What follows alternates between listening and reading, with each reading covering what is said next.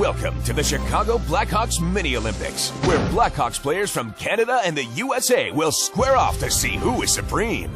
In the popsicle eating competition, each player will race to see who can eat two popsicles the quickest. First, Andrew Ladd for Canada and Dustin Byfuglien for the United States.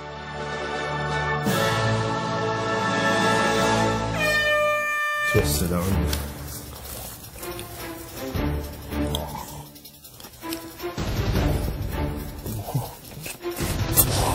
Oh. Oh. Oh, headache. I don't think this is in my diet.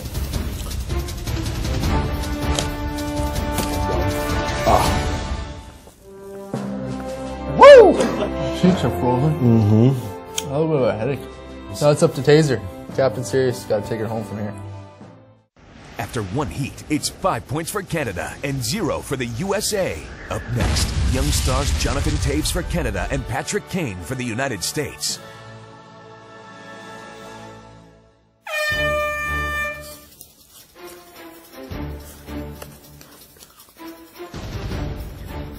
Jeez, that was all man. That's gonna take me a while. Yeah, you good? I heard. There's gotta be a good strategy in this. Killing you. I'm gonna tell you my trick right now because I'm gonna beat you anyways, but you chew it and you swallow it. I have sensitive teeth. So do I. Hurts. Obviously not. Team Canada.